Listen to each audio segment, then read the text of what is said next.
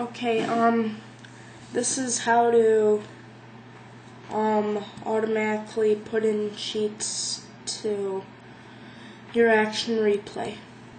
First, open up Action Replay Code Manager. Um, if you haven't yet, click Software Upgrade. Okay. Um, alright. Second, open up your internet. Type in the game, like, um, Pokemon Diamond AR codes. And then, um, click on one.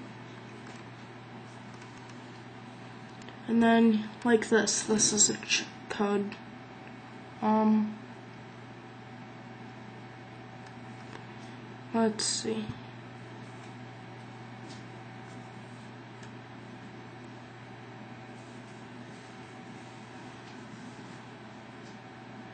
Um, how about this? Arceus. Um, here's what you do. You select all of this, right click, and then click copy.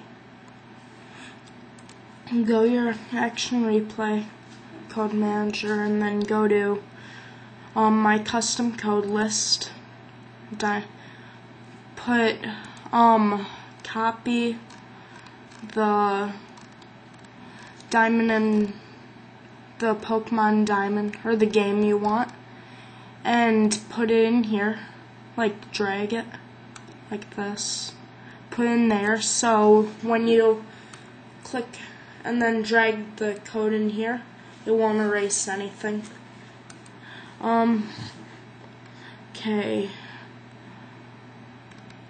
Right click. Click add new cheat. Alright new cheat. Arceus whatever. Um, and then paste it in here. Okay.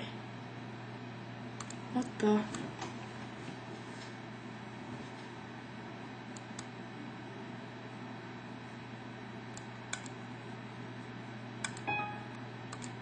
Whatever. Um, I don't know why this is not working. Should be. One second. This is good for all these long codes like this. Um, Alright.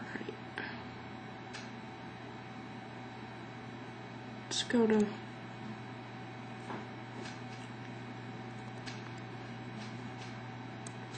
Alright, copy this.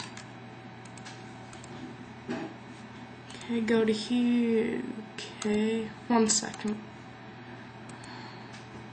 It's not working.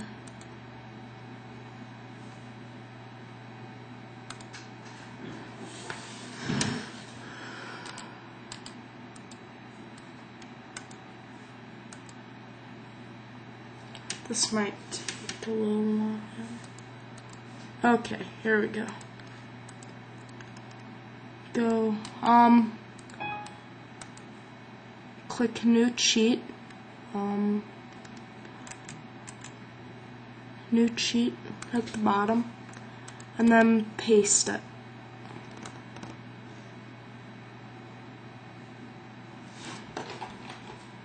Um, one sec.